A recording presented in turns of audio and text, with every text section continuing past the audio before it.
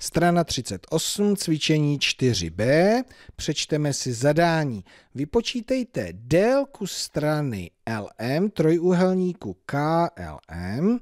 Obvod tohoto trojuhelníku rovná se 22 cm, délka strany KL rovná se 8 cm, délka strany MK rovná se 5 cm.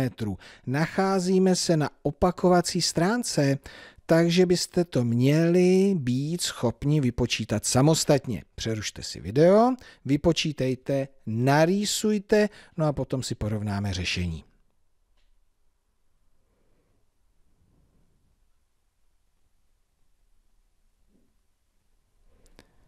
Tak se na to podíváme.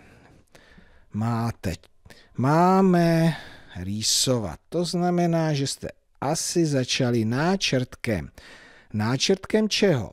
Trojuhelníku KLM. Tak. Trojuhelník KLM. Co pak o něm víme? Délka obvodu, čili obvod rovná se 22 cm. Délka strany KL rovná se 8 cm. Délka strany MK, to je tady, rovná se 5 cm. A my máme vypočítat délku strany LM. Pokud to chceme rýsovat, tak se bez toho neobejdeme. Tak, jak to uděláme?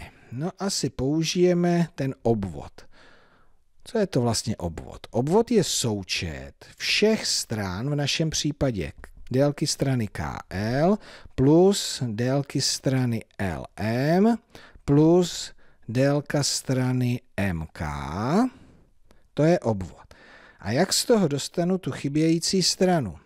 Já si ten obvod můžu představit rozložený, čili jako úsečku dlouhou 22 cm. Z čeho se skládá? Skládá se z délky strany KL. Tak dejme tomu takhle. A to je 8 cm. Potom z délky strany LM, a to my máme vypočítat, to nevíme. A délky strany MK, to je 5 cm. Tak. Jak z toho získám délku strany LM? Tak, když od celé úsečky 22 cm postupně odečtu délku jedné strany a potom ještě délku druhé strany a zůstane mi délka hledané strany LM. Tak, 22 minus 8, to máme 14, minus 5, 9 centimetrů, takže nyní už můžete rýsovat tento trojuhelník, no a my jsme těch trojuhelníků narýsovali víc, takže se podíváme přímo na řešení, takže čím jste mohli začít. KL, strana 8 cm a teďka jste využili dvou kružnic.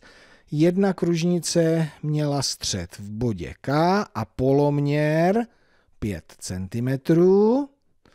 No a abychom získali bod M, musíme narýsovat ještě druhou kružnici, která se s tou první protne a ta měla střed v bodě L a poloměr těch 9 cm, které jsme vypočítali. Takže takhle nějak by to mělo vypadat. A myslím si, že to tak vypadá, protože jste se dobrali ke stejnému řešení.